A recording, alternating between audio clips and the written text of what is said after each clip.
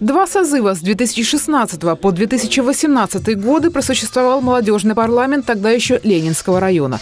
За это время ребятам удалось решить немало задач и организовать мероприятия, которых помнят и сегодня.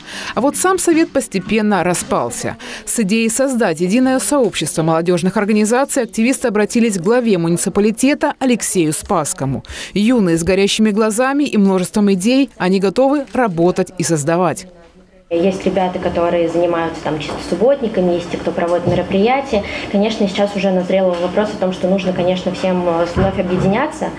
Вот. И мы, в принципе, хотели бы поддержки, в том числе со стороны администрации, чтобы нам помогли в этом. И, конечно, такие инициативы активно поддерживаются. В любом случае, либо вождь, либо коллективный вождь должен быть с вашей стороны, да, потому что это тут даже не только вопрос статуса, это вопрос э, ну, какой-то искры, огонька, который надо поджигать, иначе ничего не будет, к сожалению, к огромному. Это и в нашей работе. Кроме того, в администрации округа подберут сотрудника, который выступит в роли куратора активистов. Помогут ребятам и с помещением для создания многофункционального молодежного центра. Сам формат взаимодействия и круг обязанностей будет тщательно продуман. ЦМ опять можно возродить на базе э, территориальных, территориальных отделов. Точно так же и можно привлечь парламент, как э, с депутатами тоже работать.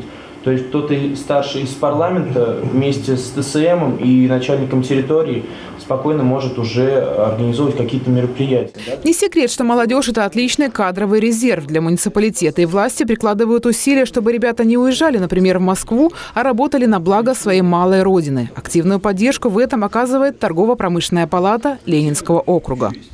Ситуация, связанная с школьным бизнес-инкубатором, это тема обучения школьников э, азам предпринимательства с точки зрения нас как палаты. Это очень важно. У нас есть идея создать на базе торгово-промышленной палаты, э, палате да, молодежный клуб предпринимателей.